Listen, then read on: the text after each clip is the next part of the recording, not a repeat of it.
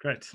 Okay, so yeah, uh, going to be talking today about Harry Potter and the quest for true business value, and trying not to make that uh, uh, the link between uh, this uh, topic and Harry Potter completely gratuitous. Uh, so you can tell me at the end of it whether I achieved that goal or not. Um, we'll try and keep it fairly light, fairly interactive. Um, so yeah, and hopefully we'll have a have a fun a fun evening. So I can assure you this is probably the most boring slide in the deck. Um, but it's part of the backstory for this whole uh, talk. So what you're looking at here is call center volumes for a large banking, a large transactional banking system. And they're sitting around three and a half thousand a month. So that's a lot of people phoning the call center a month. Um, and we, when we're working with this, we decided that this would be a good, um, this would be a really uh, good pilot uh, for Agile. So we uh, to do password reset, okay, as an agile pilot on this large transactional banking system. And in the past, at that stage, I was actually managing the business and systems analysis team uh, in this area of the bank. And uh, I looked back as to how long features took to deliver, and most of them took about two to three years, which is typical. It's actually if you if you really look at how long features take in your traditional kind of big project environments, that's how long they take from sort of concept to through to production, two to three years and we managed to deliver password reset in six weeks. So this was fantastic. Um, you know, this agile thing works. We had a nice party with pizza and beer, um, and we declared success. And we had a incentive uh, program as well at uh, Standard Bank, and a few people even got a boat trip to Mauritius on the back of password reset. So this was fantastic. Okay, great, great success. Okay, or was it? And unfortunately, what you're looking at here is actually the after picture. So this is 18 months after we had that party and the beer and the pizza and all of that. And actually, the, the call center volumes were still sitting at three and a half thousand. So really, what had happened is we'd produced an output, but we hadn't achieved the outcome. And no one actually seemed particularly bothered. I mean, I think I was the first person. The reason why I actually asked uh, for the stats was I was going to use it as an example in a presentation I was doing at Agile Africa. And uh, I still ended up using it as an example, but uh, I guess in a totally different uh, context. Okay, so that was just that's just sort of the backstory for all of this, and I will uh, draw on this example a couple of times uh, during tonight's presentation. So I shared when we were doing the bit of the, the chat before that today I'm only going to be doing one running analogy, and this is it. So really, when I look back, it, it wasn't that um, it, it was very uncommon when you actually evaluate when we release things, we declare success when it is production ready, when we consider it done, and really liken that to saying it's almost like celebrating getting to the start line of the Comrades Marathon. So yes, it's quite an achievement to get there, but really it's not something to brag about. You know, no one's interested that you got to the start line of the Comrades Marathon. They're interested how you do do once the starting gun uh, gun actually fires. So you're being there, done there, uh, been there, done that, got the T-shirt is the kind of I guess the cliche it's saying. Uh, in running circles, you definitely can't wear the T-shirt unless you've earned the shirt. So uh, no runner worth his, with his or her salt would wear a shirt for a race that they haven't done. Um, and we, I think we tend in, in very often in our organizations, we declare success far too early. So we claim the, you know, we claim the, we, we've, we've uh, achieved our goal, but actually we've only got to the start line. Um, so obviously in running, you only get your medal when you cross the finish line. Um, and just thought that you know basically what we're doing is we're awarding us ourselves the equivalent of our participation certificate by celebrating when we are when we consider it done when when our, our products are built or our code is ready our features are ready. Um, so i just want to move that so i can see my slides. Okay. And really we just you know when do you want to celebrate when you actually cross that finish line? So it's all about actually checking the race results okay not not just uh, making it to the start line. So really once that production starts and fires the only thing that really matters is how well your features perform in a competitive environment. Okay so what actually happens? Are the users using them? Is it making their life better? Um, in some cases we might find out it actually makes their life worse. Okay. what is the organizational equivalent of participation trophies? Okay ship-it awards. There's a, a tweet here from a guy called ron Kohavi. we'll talk a bit more about him later and uh, this is, was from uh, November 8th, to 2014, the day that Microsoft stopped rewarding uh, the shipping. So up until then, they had big incentive schemes around shipping. Uh, they had this plaster on the front walls. You see that uh, every time a product ships, it takes us one step uh, closer to to the vision. But actually, it, very often it doesn't. You'll see his, his comment here, not shipping is often better, and we'll also cover that later. Okay, sometimes by shipping products that actually don't work or aren't great or aren't fit for purpose, it actually takes us further away from the vision, not closer to it. Um, there's a quote there from him: "Shipping is not the goal. Shipping something useful to the customer is the goal." And very often, you know, shipping is actually fairly easy. Like I said before, getting to the start line, so it was it, it's relatively easy. Still, some hard work goes into it, but really, we want to make sure that it's something useful uh, to the customer. Okay, so the way I'd phrase this is saying ship happens. So the true test of our software changes is not that they are defect free and work according to spec, but rather that they achieve the expected benefit. So once again, it's this whole uh, shipping it is just an, an output. We're trying to drive uh, the right outcome. So um, if you don't mind pulling up the first poll. So first question uh, for those of you uh, on the call today is um, if you can let me know what percentage of changes result in value for your organization. Okay, so in the organization that you are currently working in, what percentage of changes, and I'll put this in asterisk, so statistically significant beneficial results. Okay, so we can actually prove it statistically. We know that, our, that this change has achieved the intended result. Okay, so don't mind just uh, voting there. And we'll observe those results once they're through.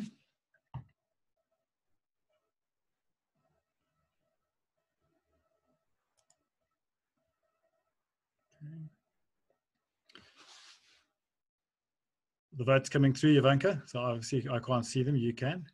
Uh, it doesn't seem they come through. They're coming through. Um, no, it, they do. Sorry. Okay.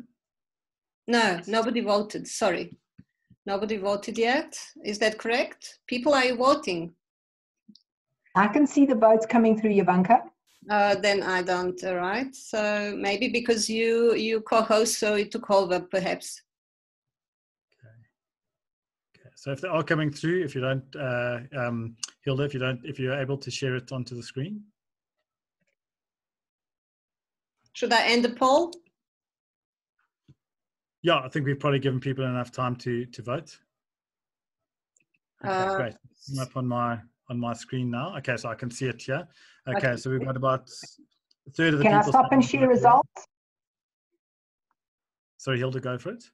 I'm going to stop and share the results. Can you see? Uh, can you see the results? Yes, I can see it on my screen. So hopefully everyone can.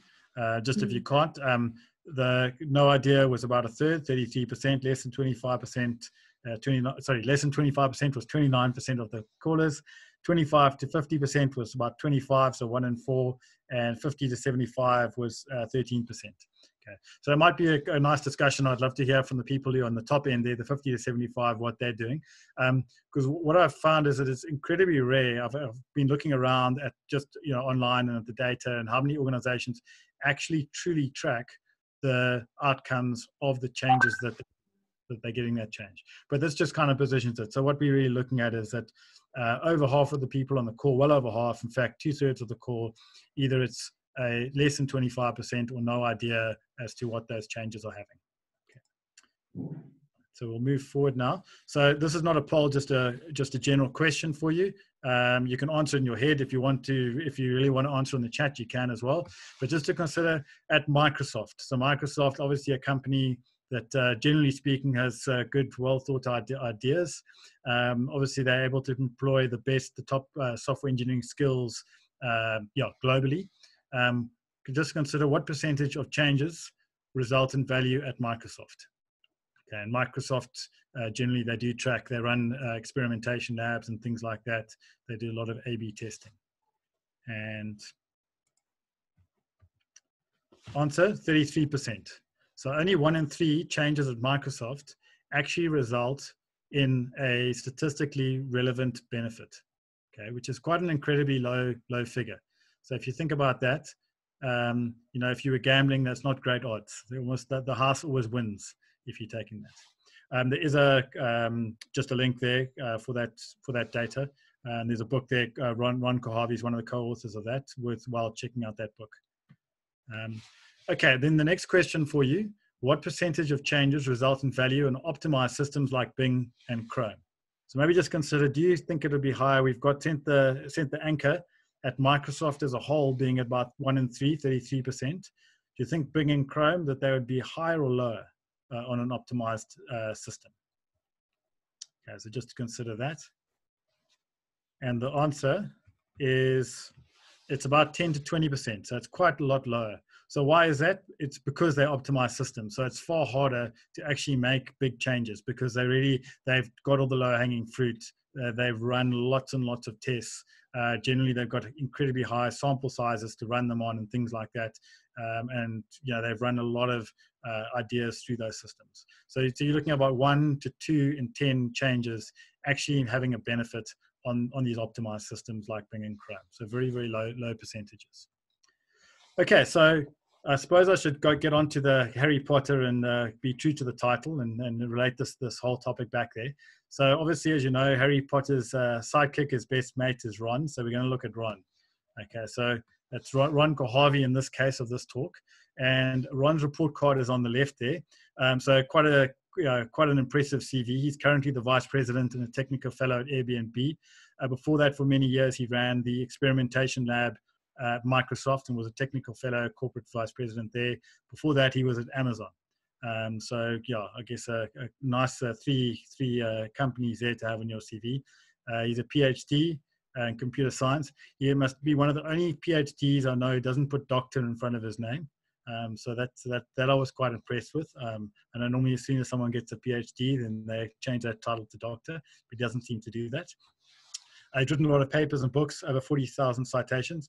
And just an interesting fact about him, he's actually the guy together uh, with a colleague of his who coined the term hippo. So hippo, the highest highest paid uh, person's opinion. Um, there's a nice little interesting story if you follow that link. I'll make the uh, presentation available afterwards. You can read up a whole story about how it occurred um, quite a nice little bit of yeah i guess a uh, nice little article bit of interest there okay so that's uh, that's uh, is ron kohavi um, i first came across his name when i was reading the devops handbook and um, the one one of the things that stood out for me about the book was it's almost a side remark under a section of A/B testing, which is around page 250 in the DevOps handbook.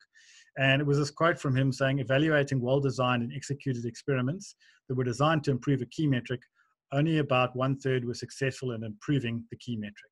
So basically, this is this whole thing at Microsoft, and, and this was the work that he did and put in place. Uh, he, he, instilled this whole experimentation approach at Microsoft. Um, when you actually looked at the figures, what they showed you, um, it's almost in a way quite depressing that only one in three actually achieves an intended benefit. Um, it's also just stated in that book. Um, the link is there. One, so basically, just yeah, I guess a simpler way of saying it only one of every three changes will result in intended, intended improvements. And actually, um, he'll go on further to state that one in three makes no difference. So basically, didn't you know? It's just adding code, additional code to your code base. It wasn't positive. It wasn't negative. It was just there. And one in three changes would actually have a negative impact. Okay, and something we'll look at um, later. So it would actually have a negative impact and actually be to the detriment of your system and to your customers. So um, this is something uh, law. So it's something that I've I've uh, I've coined Kohavi's law. If you Google Kohavi's law, you'll probably only find stuff articles uh, that I've written on this. But I do believe it's it's a credible law, and basically, this only one change in three will yield a positive result. Uh, the obvious corollary to that is that two out of three changes will have no detectable impact or will have a negative outcome. Okay, so that's uh, that's what I would call Kohavi's law. Um, in searching around for companies that are um, are actually collecting data open about it, uh, by 33% is pretty much the highest. There was one I could find claiming a 40% success rate was the absolute highest, and very often it's lower. So, like people like um, on on Google on their optimized systems, it's quite a quite a bit lower than that one in three. So, so almost you're looking at a best case scenario when you actually um, look at that, uh, look at your results uh, typically of getting that positive result. But I would be having said that, I'd be very interested to chat to those people who say that they're getting 50 to 75%. So maybe that's a topic at the end of this talk uh, to evaluate. So just a, um, been, uh, a quote there from him. I've been fortunate enough to have a few uh, email conversations, electronic conversations with them. and basically this quote evaluating ideas with controlled experiments was humbling. It showed how poor intuition and expert opinions are. Another way he describes it, he says that people, they think their ideas are like babies. He says his job is to tell people that their babies are ugly. Okay, that most of them actually are bad ideas that they don't they don't actually work in practice. If you do want more on that, there's a link there. Uh, just an article I wrote on my blog uh, just goes into a bit more detail about about that um, and about the, the, the process that he followed. So uh, once again, just before we get into Harry, we need to talk about Alice. So unfortunately, uh, couldn't uh, tie Hermione into this uh, story, but we'll have to deal with Alice. Uh, for those of you who uh, listen to Smokie Records, you might be having something else going on in your head, but I will explain exactly who Alice is right now. So this obviously isn't Alice. This is Alice's dad. Um, his name is Nigel Newton, and he is the CEO and uh, of Bloomsbury Publishing. So you'll recognize that name if you like the Harry Potter books. They were the they eventually were the, the publishers who picked up um, Harry Potter and the Philosopher's Stone. So um, it's actually only because of Nigel Newton's eight-year-old daughter Alice that Harry Potter got published. So what happened was that uh, he got home one day. He had a photocopy photocopy of the manuscript of the first three chapters. Very recently, Bloomsbury had decided to uh, start looking at publishing uh, kids books and opening up a, a, kids book kind of division. He had this, and kind of as an afterthought, he gave this to his daughter to say, oh, "Take a take a read of this. Uh, tell me what you think." And this is a direct quote from him. She came down from the room an hour later, glowing, saying, "Dad, this is so much better than anything else." And she nagged and nagged me for the following months, wanting to see what came next. And uh, interesting enough, I, I like that the following months. So it wasn't like he believed her straight off that this was a good book and a good proposition and would make them uh, billions of, of dollars. Um, it was her, her nagging that actually did it. So basically, she read it one sitting, an hour later said, This is fantastic. Where's the rest? and because it was given to the intended audience, an eight year old girl, uh, I guess the rest is history.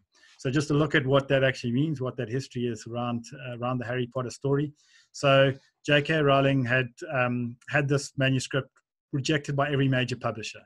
Um, so every major publisher, a lot of minor publishers looked at this and said, "Nah, you know, kids' books don't sell, particularly kids' books written by women or wizard about wizards by women don't sell." That was the kind of feedback that she got. Interesting enough, that's actually why she went with Jake. She's got no middle name, um, but uh, they were worried that uh, boys wouldn't buy a, buy a book uh, written by Joanne Rowling, so J.K. Rowling was chosen. Apparently, K is Kathleen, which is the mother's name, which is why she chose the K. Bit of trivia there as well. And really, it was only published because of this persistent pester power of an eight-year-old girl. Okay, because she believed it and she liked it.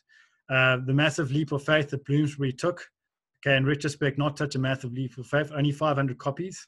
Apparently, most of those 500 copies were sent to schools and libraries, so they weren't even available for sale. They were actually distributed out there.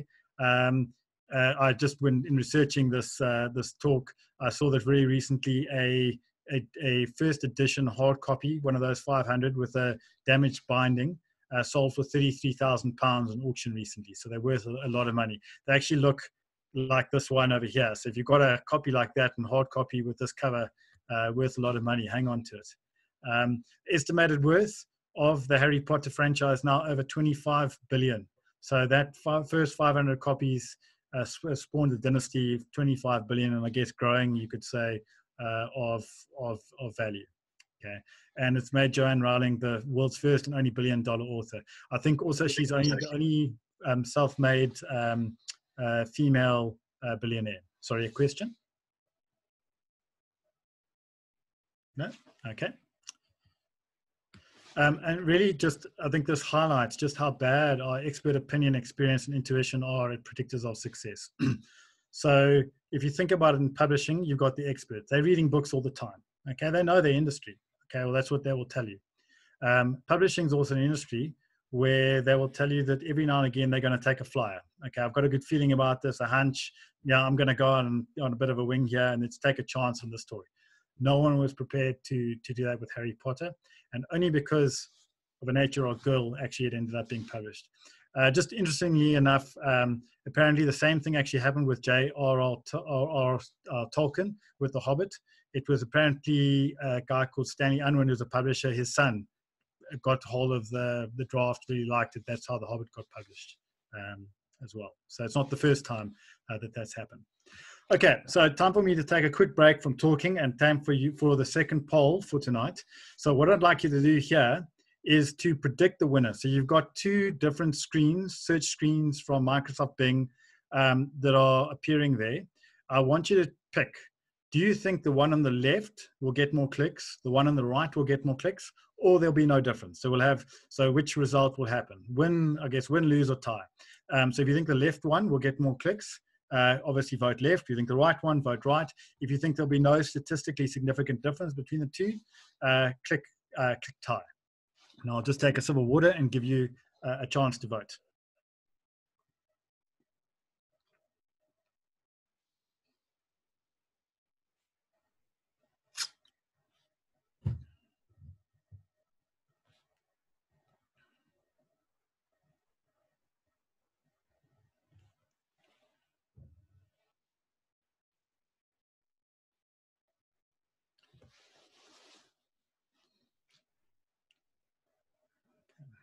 And I guess Hilda or Jovanka, once you can see that uh, there's a sort of a critical mass of votes, uh, then you can close the poll and share the screen.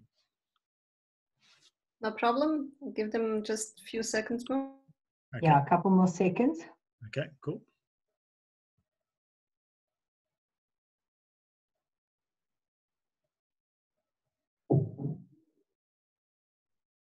Okay, I'm going to end the poll and then share it. Right.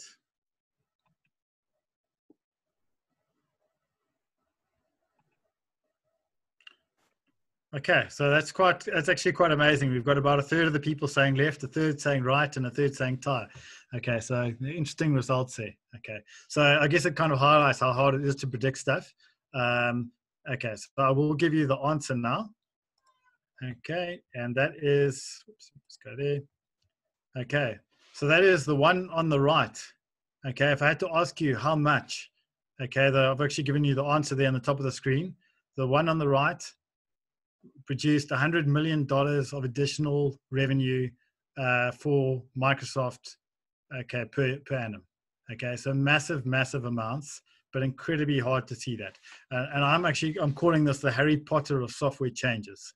Okay, so why you can just see on the screen here a little bit more detail. So exactly what they did, this was the existing screen on the left, and all they did was they moved a bit of text and highlighted it onto the actual URL.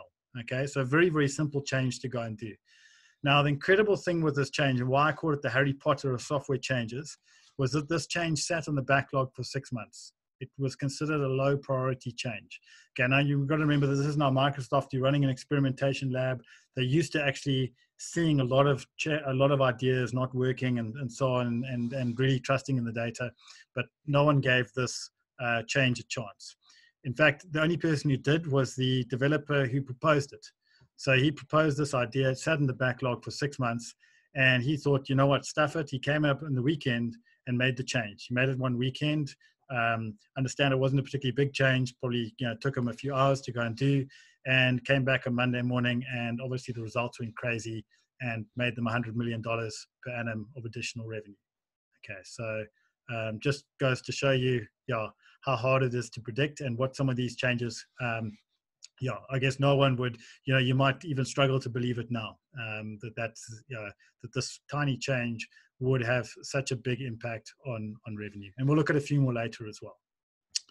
Okay so uh, what i'm going to do now is actually going to go and take you through i know a lot of organizations these days are coming up with playbooks so uh, I'm saying it's time to throw away the playbooks. It's actually produce a spell book. Okay, so how do we produce the magic? What are the magic potions and recipes and so on uh, to get this business value that we are all hearing about and that we all want to achieve? So the first spell, and this is actually where my Latin came in handy again. So as Jovanka mentioned, I did matric Latin. Actually, the reason for that is uh, I was originally intending to be a lawyer because I figured I liked arguing with people. Um, but uh, and in South Africa we do Roman Dutch law. So uh, if you don't do Latin at school, you've got to do five years of school Latin and first year varsity. And I figured that that would probably interfere with my social life. So I did it that way. And anyway, and in first year, I decided I liked uh, uh, computers more than I liked arguing with people. So I, I switched my stream to information systems. So the first spell we've got here is Intelligere Minimum Viable Productum. So if you're familiar with Harry Potter, you'll know, it's, uh, yeah, it's a bit of a long-winded spell, but a spell, spell nevertheless, uh, which translates as understand the minimum viable product. So to illustrate this, there's a picture over here of a very complicated traffic circle. Um, so if you consider, I'm not sure if you can go off mute. I'll ask this question if people can go off mute if someone wants to shout out uh, what they think would be a good answer. So very often there's there's a lot of misunderstanding about what a minimal viable product is. People think you've actually got to produce the whole thing. So if you consider what is the biggest risk with a traffic circle, if you think about Kohavi's law and we've got a one in third chance of having a negative result, in this case, it'd be that actually we want to improve the flow of traffic by putting in a traffic circle. Worst case scenario, we actually make it worse. So the question I've got for you now is how can we test this minimal viable product so how could we test whether we're going to make the traffic better or worse or make no difference to it without building the entire traffic circle?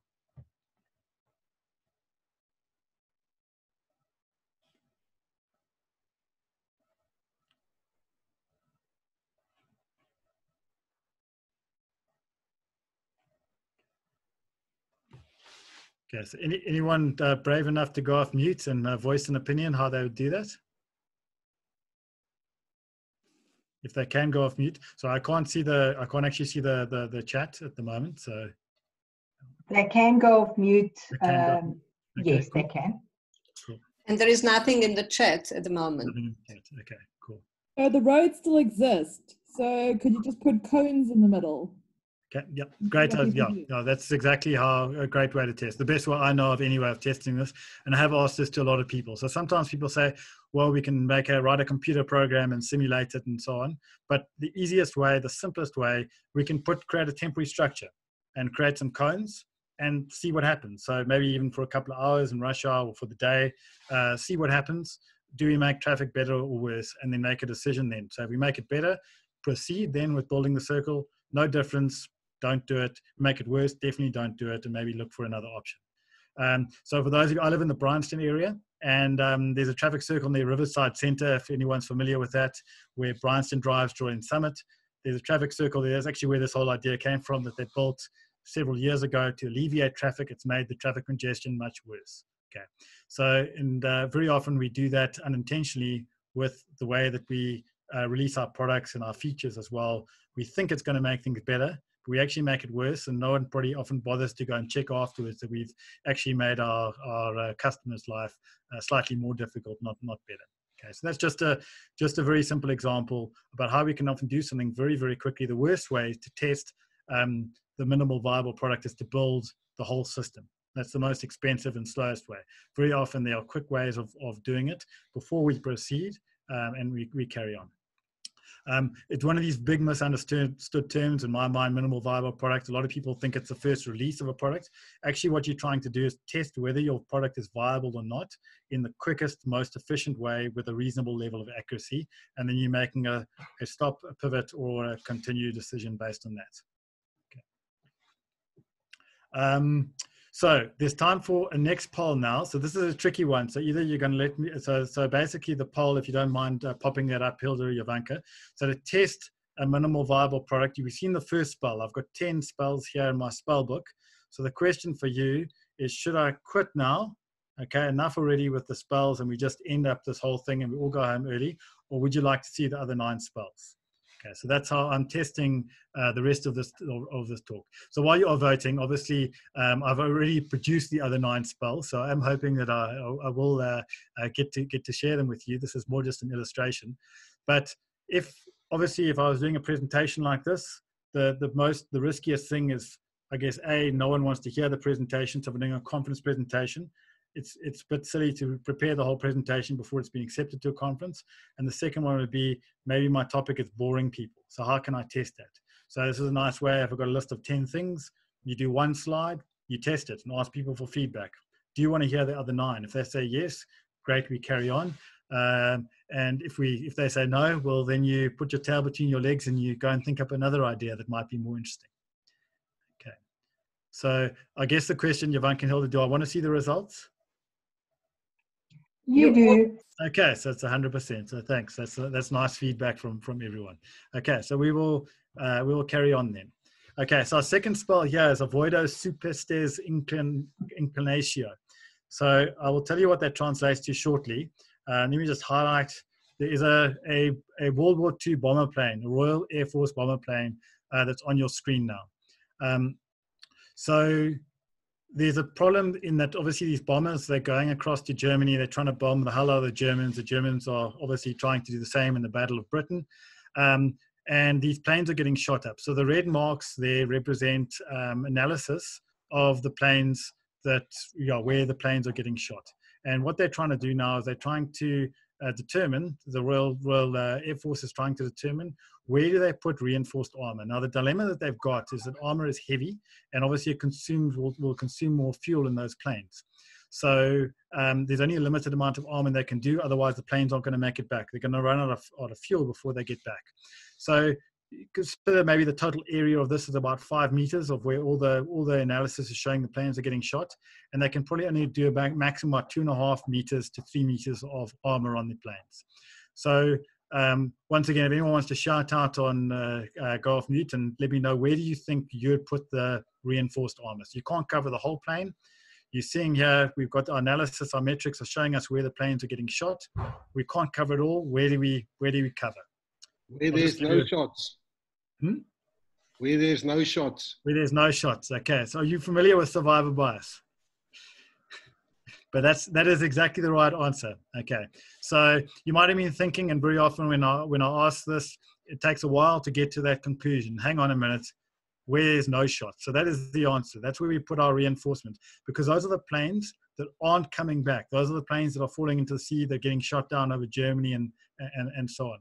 Um, and there's a thing called survivor bias. So very often what happens is we place much too much emphasis on what is visible. And normally we see visible as things that stay around. And survivor bias can actually be used in a negative light as well, because we remember uh, the, the big things. Uh, we tend to forget a whole lot of the other things. It also, I guess, highlights the fact that metrics can only do so much and um, that it's much more important to apply our, our, knowledge and our brain power to the, the bigger picture of, of the metrics the guy came up with this. He actually, this was a real life scenario. Was a guy called Abraham Wald. Um, so the, the spell here is avoid survivor bias. Um, I have put a link in there. Very interesting story. Um, yeah, but exactly they were deciding where to put it, and he said, "Hang on a minute. What about the planes that aren't coming back? That's that's actually what we should be looking at and taking into consideration." Um, there's another very interesting story from World War One. Um, this uh, it's called a Brodie helmet that were introduced in, in during World War One and also the powers that be, um, the generals and so on, the um, chief of staff said, hang on a minute, we've got a real problem here because we're suddenly getting inundated in our medical hospitals with people who've been wearing the helmets with head injuries. There's a problem, there's a defect with the helmets.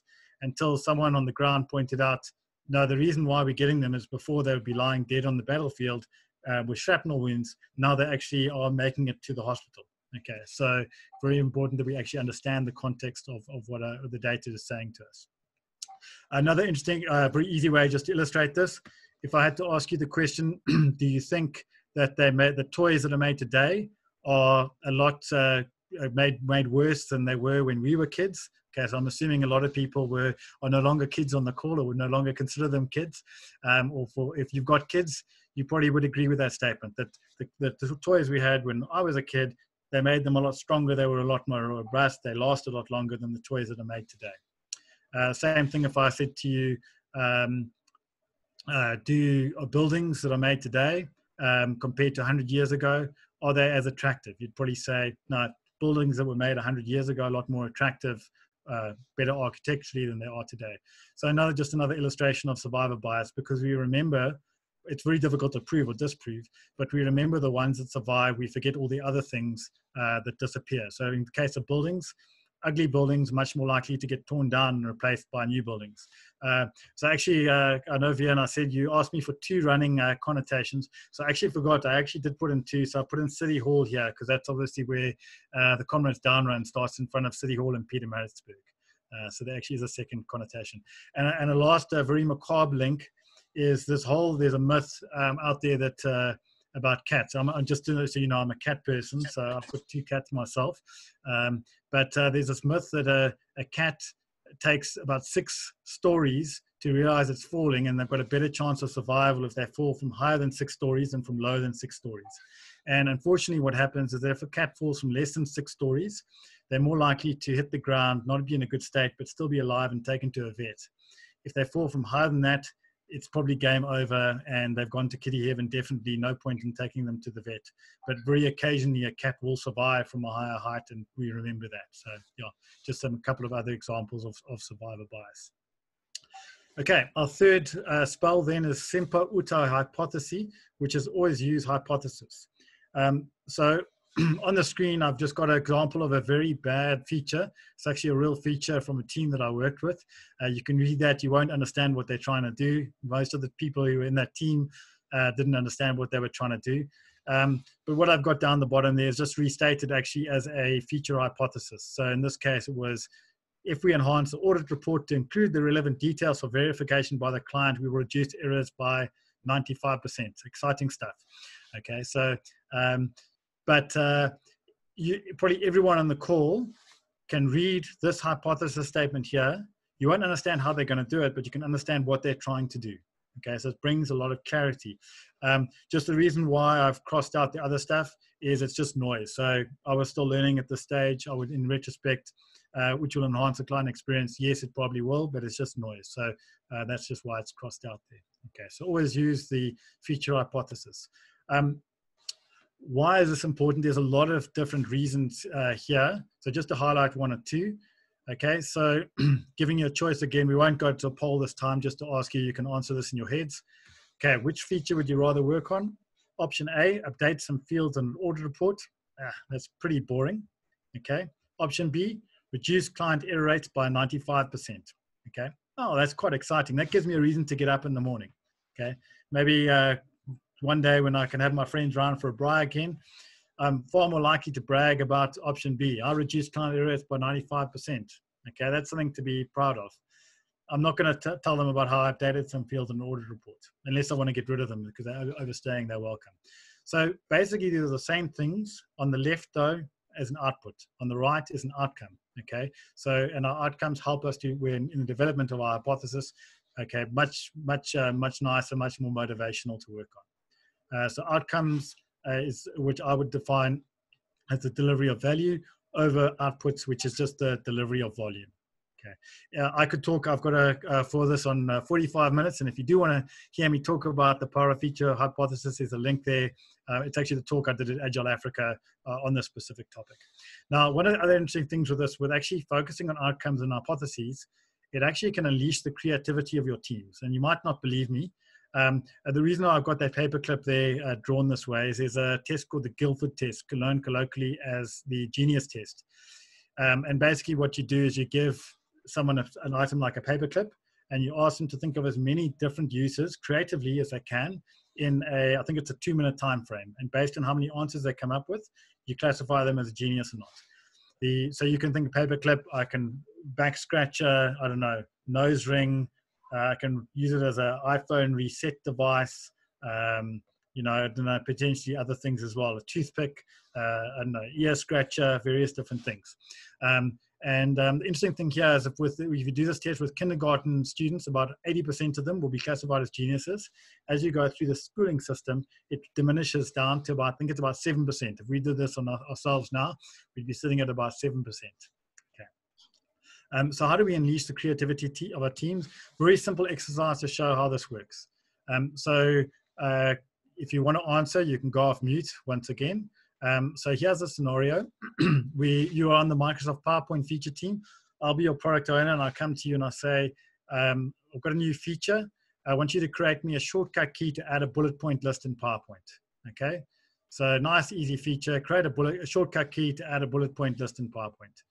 So the question now is, does anyone know what the shortcut key is? So like it's not control B, obviously, because control B will turn your text bold. Anyone know what the shortcut key is to add a new bullet point in PowerPoint or Word? Or no. Someone want to have a go?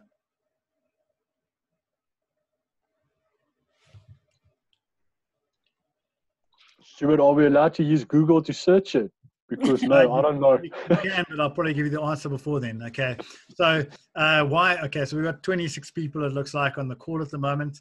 Okay, none of us know what the shortcut key is. So if you did Google uh, Vian, you would find there is none. Okay, so I was asking you a nasty trick question. Um, but I guess the question is, why is there none? Because there's a better way of doing it. So how would you add uh, quickly a bullet point, uh, ast- uh, asterisk or hyphen in space will create that bullet point uh, list for you in PowerPoint. So if you considered if I came to you, instead of telling you what I want you to do, create a bullet, a shortcut key, if I came to you with an unconstrained feature or chasing an outcome, allow users to create bullet points as easily as possible. That unleashes their creativity. And that's really what you want to try and do when you're doing with features is to phrase things in this way. Most of the time, stuff comes through telling people what to do. You can't be creative. Even if you've got creative people in your team, they are just going to blindly go and deliver this, not think of the other options.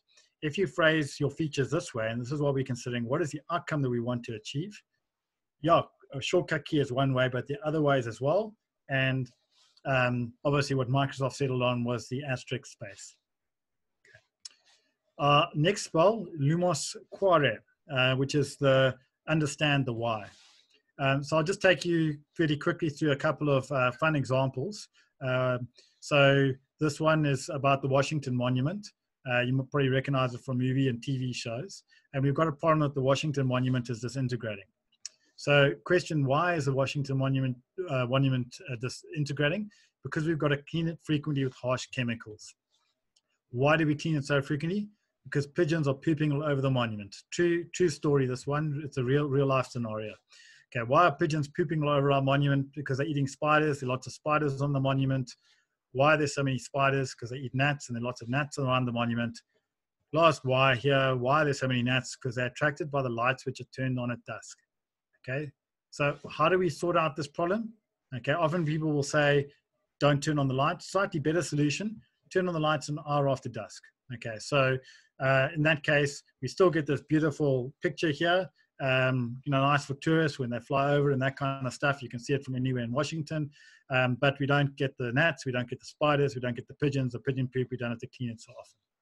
Now, very often what happens is we just focus on these one of these first two over here without understanding the problem uh, properly, without understanding the true why. And if we had a bit more time, we could go through it. I could ask you what were your solutions in your head be things like investigating in better chemicals or putting cages around the monument or hiring the NRA to come shoot the pigeons or you know kind of big solutions. But often there's a very neat uh, solution if we understand the true root cause. Okay, so which in this case was turn on the lights an hour after dusk. Um, slightly more serious example now. Uh, the first one was a bit frivolous. Uh, the guy in the top left is a guy called Richard Sternin. He invented a concept called positive deviance from helping to solve childhood uh, malnutrition in Vietnam. So he represented an organization called Save the Children, uh, who was just by himself, one person. Um, and he says typically what would happen is people would focus on big issues like poverty, sanitation, corruption. He calls them TBUs, true but useless. What he did very interestingly is he said, hang on a minute, there's some kids who are not malnourished. Why? And maybe they were the chief's kid or they had an uncle working for the government in Hanoi, so they were getting more money. He excluded them. He said, there's still there's some kids who are not malnourished. Why? And, and it boiled down to a number of different factors, including things like um, that their parents would feed them crab, crabs and shrimps from the rice paddies, which were considered an adult food, but obviously they're full of protein, just the same way you probably wouldn't feed your, your babies uh, sushi. Okay, but that's what the kids who were getting that were less malnourished. Um, things like instead of feeding twice a day, which was traditional, the same amount of food five times a day. Um, there were there were a couple of other different factors that he did there as well. Uh, also, like the communal uh, eating, um, they would put the food in the middle. Everyone helped themselves, but parents who actively feeding their kids were less malnourished. Makes sense if you've got kids yourself. You know, dinner times can sometimes be an inordinately long affairs. Um, uh, another funny one was that uh, when the kids had diarrhea, I was always told you starve out diarrhea, but apparently feeding the kids during diarrhea meant that they were less malnourished as well. And the beauty of this was he didn't say, I'm the clever American, I've got all your answers. He actually then worked with groups of mothers. He actually started out with almost like an agile team, a group of 10 mothers. And he essentially transferred the knowledge. They then transferred it wider and wider and ended up solving, uh, reducing malnutrition in Vietnam by 85%. So positively impacting the life of 2.2 million people. Okay, understanding the true problem, working with it, and yeah, uh, rolling it out. Uh, so just a nice example. Uh, yeah, the city invented something called positive deviance. Uh, there's quite a lot on the web about that if you're interested. Easy way to explain this concept as well. If your child or if you, when you were a kid, you came home with a report card with one A, couple of B's, couple of C's, couple of D's, and an F, what do your parents focus on? The F. Okay, what should you focus on? The A. How do you replicate that? What's going right um, is really what he's saying. So without understanding the why, we're really shooting in the in the dark. Um, and it's sheer dumb luck if we produce uh, products, features that delight our, our customers. Okay. So um, yeah, start with why, but don't start unless you you know why. And it's a nice test. that very often people say it's obvious. I always say to them, well, then write a feature hypothesis. And often what happens is it's not so obvious. So, and it's a good test. Uh, so if you can't write that feature hypothesis, you either don't know what you want. Okay, so let's figure out what that is, or otherwise no one uh, wants what you have. Okay, so the way I would describe it, survival of the fittest over survival of the fattest, the loudest, the hippo, so the highest paid uh, person's opinion. Um, just helps you to ensure uh, that we're actually doing what is best uh, for our organizations.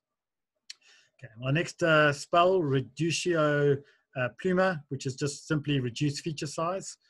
Very often what we try and do is like this big oversized truck. This is what we've got. These are the size of the features we're trying to take through in most of our systems, which unfortunately are normally on very narrow roads. So what happens, backs up everything, causes massive congestion. Something goes wrong with that truck, everything else is blocked up behind us and we sit in gridlock on our on our flow systems so really we want to be like that moped they're much more i guess agile easier to get through traffic so smaller features lean 101 smaller features uh, flow faster through the system um, so yeah, small and fast over large and risky. And really the question we're kind of posing to our business stakeholders often will say, no, no, but I need this, this, and this. If you are able to phrase in this in this way and say, do you want to have this feature done in two weeks or two days, sometimes even, uh, or wait two months or two years maybe if we do all this other stuff? And that's really the the um, the, the phrasing. And most business stakeholders, if you if you ask them the question in this format, they'll say, "Give me their value as fast as possible." Okay, so small and fast over large and risky. Uh, just a quick illustration here, sticking with this password reset example. Um, some of these I might go through quite quickly uh, just because I want to allow a bit of time for, for uh, questions.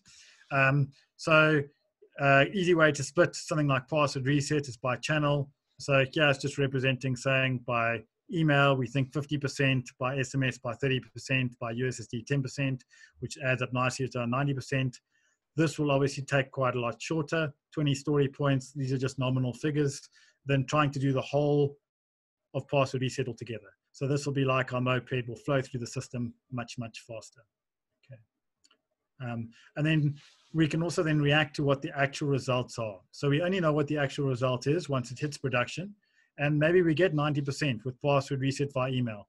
Suddenly then SMS and USSD become a lot less important if we get only 10%, it doesn't necessarily mean SMS and USSD are more important. It's an interesting result. We want to understand why. Maybe we've built our system so badly, it's easier to phone the call center than to use a self-service option. Or maybe people just don't know about it. So the next one I want to do is Accio Valorum, which is uh, show me the value. So just to illustrate this, it's so hard. So why we want to focus on value and not on money. Um, so let me actually pull up the whole slide. So what I've inserted there is a, the dark art. So Accio Denario, show me the money, um, calling the dark art. So yes, ultimately we do want to make money, but if you chase money the whole time, you're going to end up uh, distorting your business and, and, ending up the wrong things. If you go for value, money will generally follow. Um, so these figures here are from um, basically a continuous improvement stream um, that was done on a large system to get stuff done kind of four-page positional paper, so small changes. The stated benefits, I think that adds up to about 236 million Rand uh, over two years.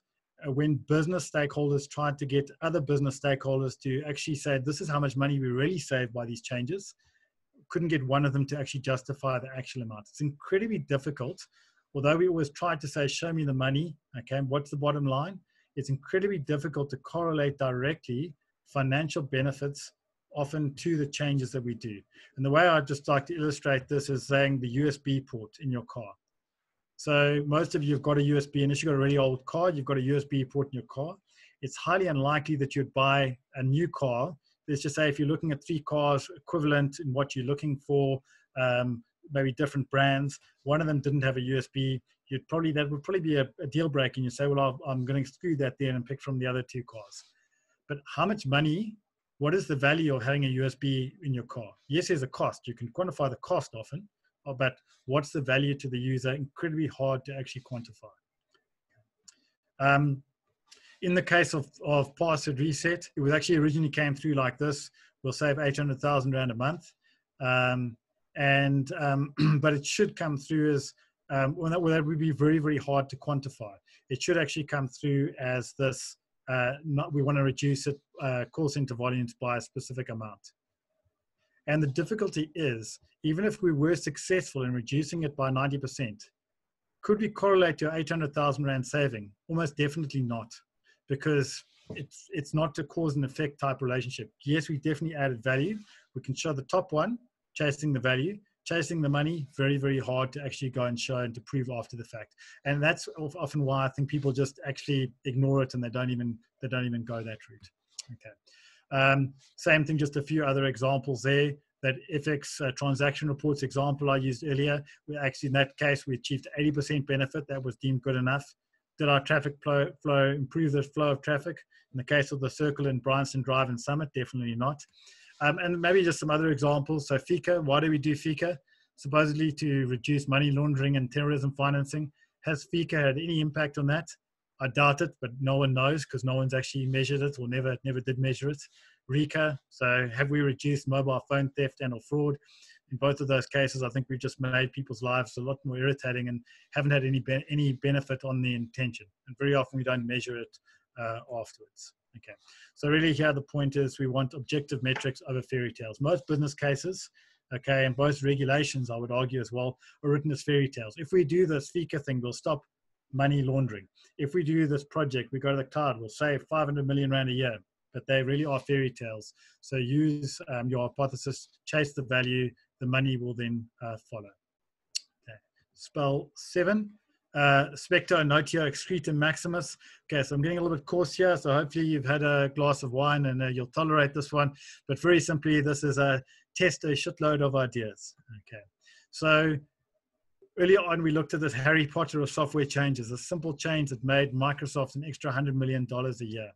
So simple laws of probability, okay?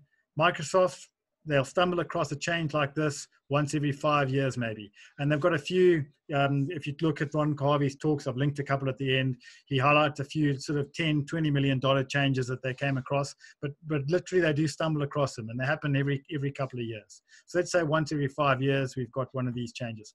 Microsoft they run 10000 experiments a year. So if in your organization you're running 100 experiments a year and maybe that's quite a lot where you are right now. A lot of legacy organizations, they would be. Actually 100 trying 100 different things in a year. It's going to take you 500 years to find your Harry Potter change. Okay, so that's the that's just very very simple math. The more experiments you do, the more likely you are to find beneficial results.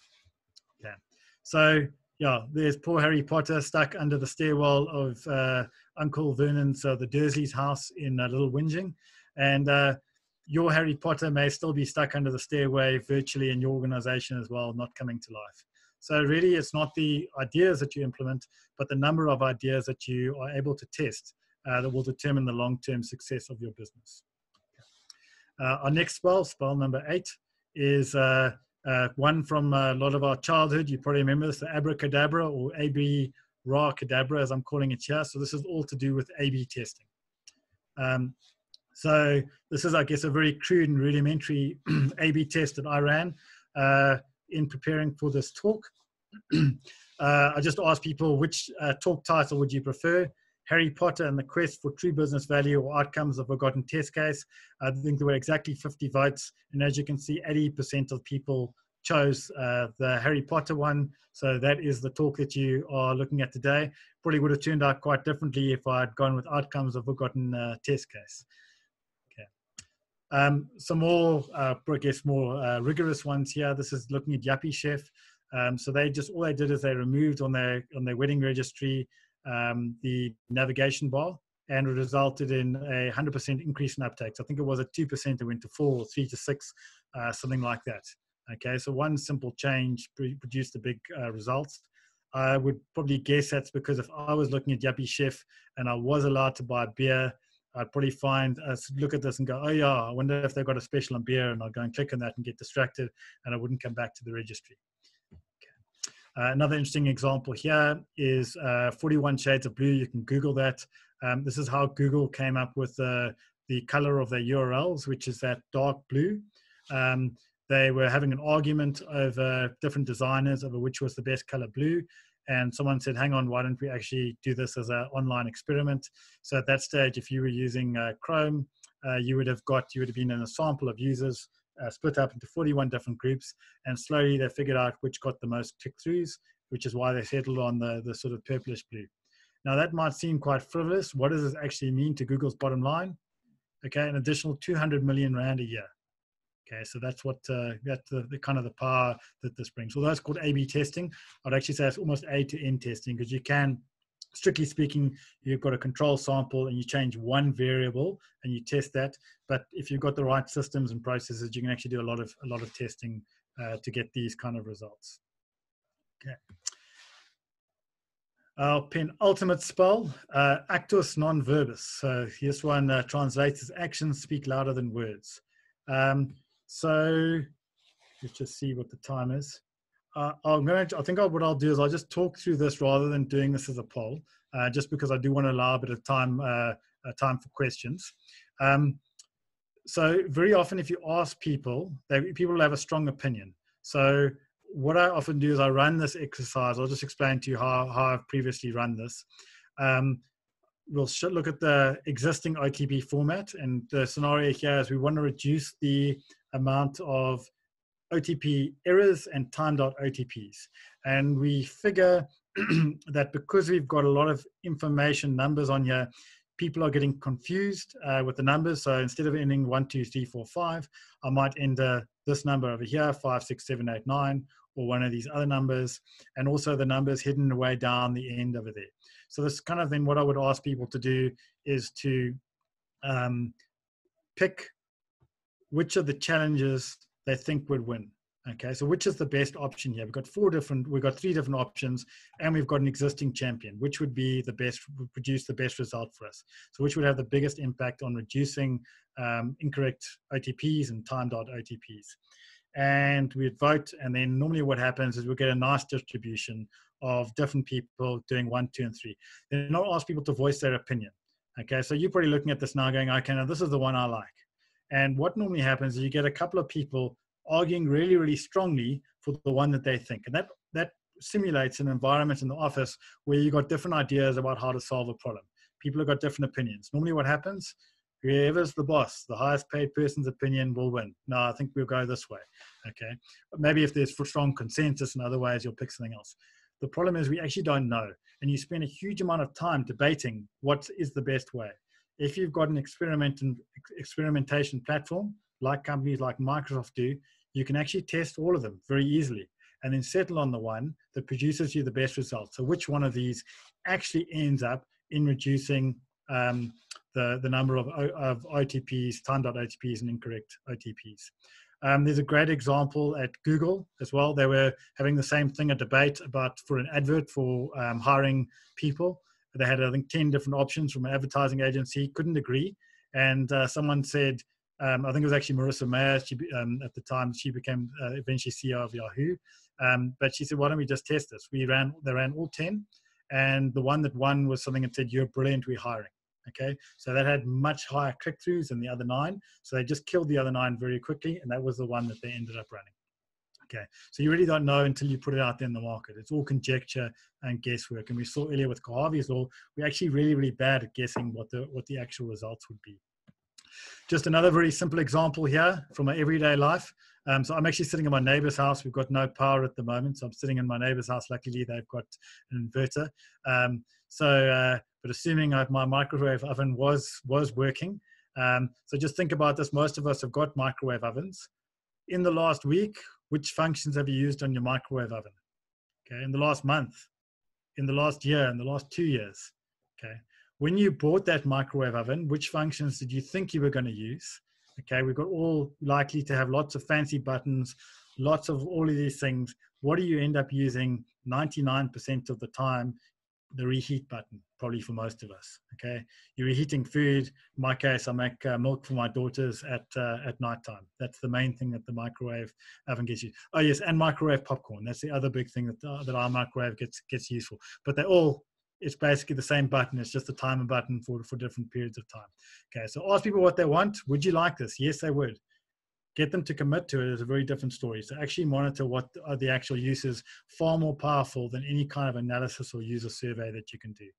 Um, and this is just from the Standish group here. There is a link down the bottom.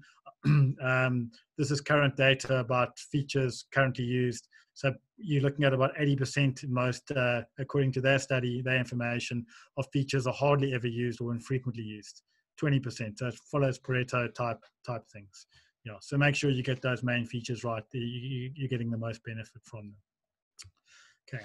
And we're on to spell number 10, so which is Expelliarmus uh, rubra cauda, which is remove the red tape.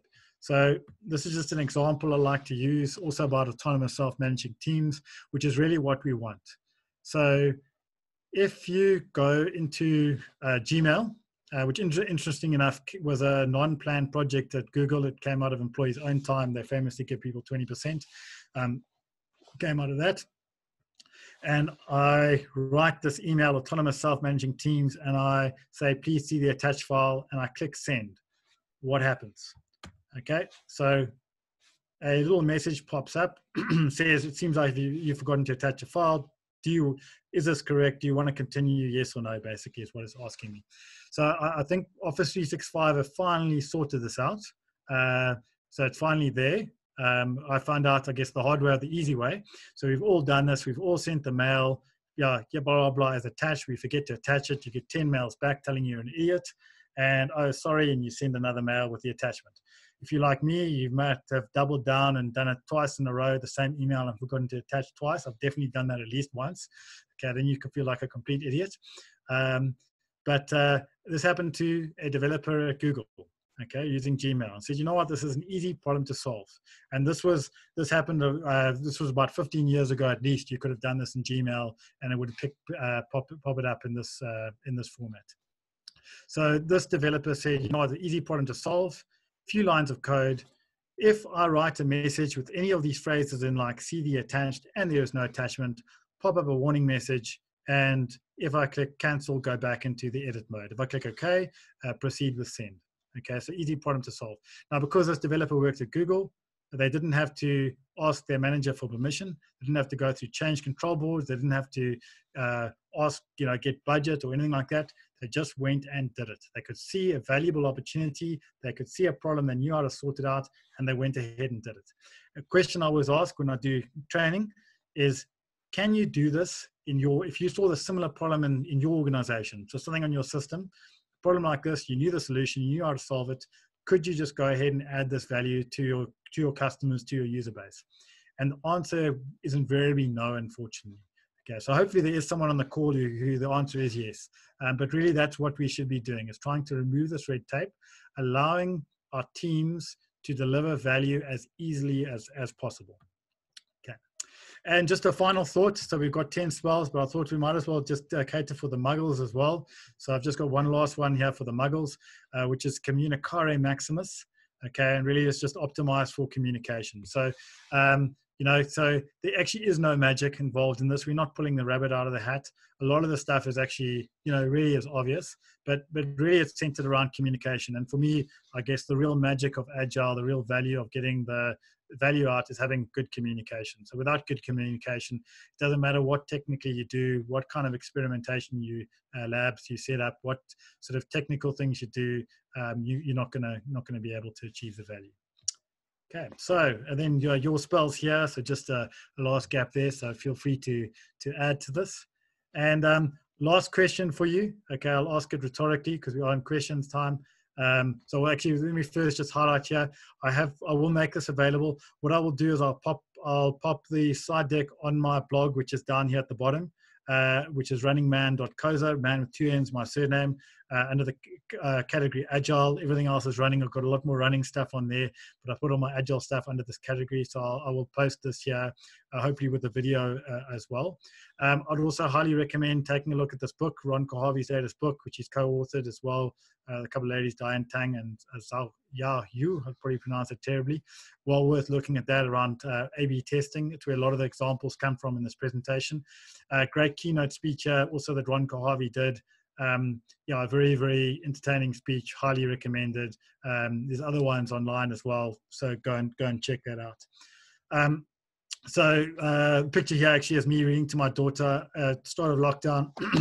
I did a, a, home Ironman, so it was my first and probably only ever uh, uh, triathlon I've ever done. And this was about 140 k's into the bike ride. I was trying to keep things fun, and my daughter said, "Can you read me some Harry Potter?" So I actually am reading Harry Potter uh, in this uh, in this picture here. Uh, and that's my daughter in the picture. So the last question for you, what comes after the quest? Uh, the answer is questions. Uh, so there we are. I'm going to take a sip of water. I've been on four days of training, so my voice is uh, facilitating four days of training. So my voice is just about to give out, I think. Um, so yeah, over over to uh, question times, and I will stop sharing the presentation now, so I can uh, just see who's talking, and yeah, and any comments that come through in the chat. Okay, there was one question in the chat, uh, and I'm not sure whether the person that was uh, asking the question would like to go online and ask it.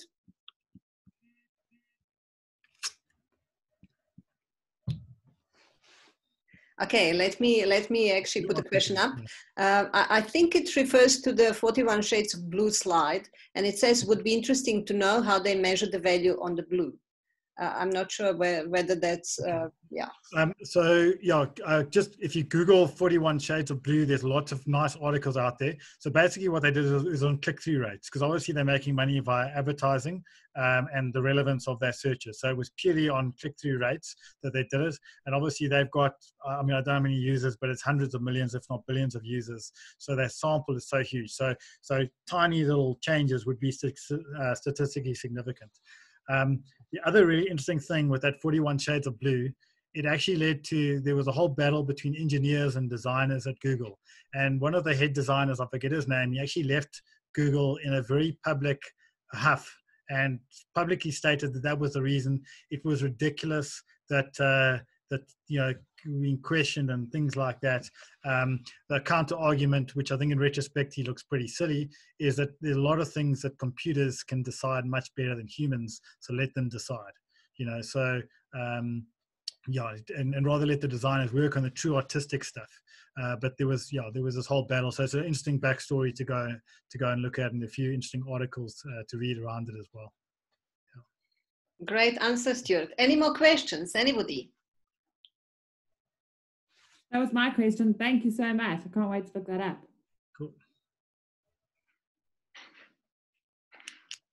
So if there is no more questions, perhaps we can start wrapping up. Stuart definitely needs the rest. Um, it was a long day for many of us. Thank you so much, so much, so much for uh, being here. And yeah, Stuart, I don't know what to say. Uh, I'm sending you virtual bottle of wine. That's funny in many ways, hey? Uh, anyway, all the best. Uh, yeah, I was thinking, just thinking that the good thing is with with use with load shedding, it's so cold that my beers will still be cold when I get when I get back home. Uh, so yeah, so I didn't think it was good form to rock up at my neighbor's house uh, with a beer when I've asked them a favor to to to borrow a plug in their and their Wi-Fi connection.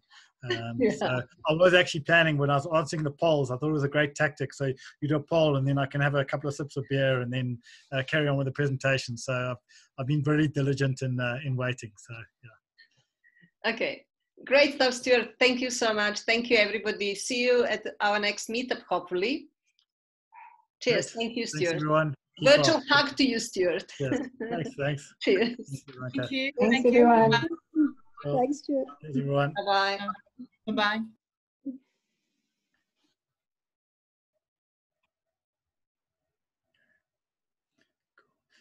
Um, have you stopped the recording, uh, Jovanka? What did you say? I just was checking whether you stopped uh, the recording. Uh, the, um, uh, before I stop, I just want to ask you